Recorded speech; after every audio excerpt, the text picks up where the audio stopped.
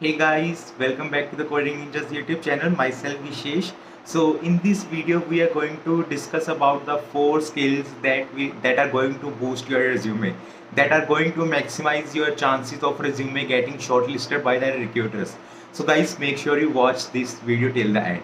So guys, very first thing is that how good you are at your technical skills, how you will show these things to the recruiter.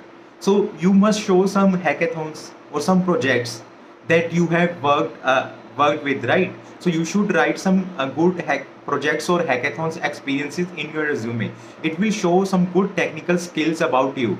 And you should show those technical skills that may be required by that company. Right? This is the first thing. Second thing is that how good you can communicate. I mean how you will show this using resume so basically writing a good English without any grammar mistakes in your resume will help you to show to recruiter how good you can communicate, right? And now talking about the third skill is that how you can show your work in numbers to the recruiter. So basically when a recruiter uh, uh, look looks at your resume, they look for the numbers.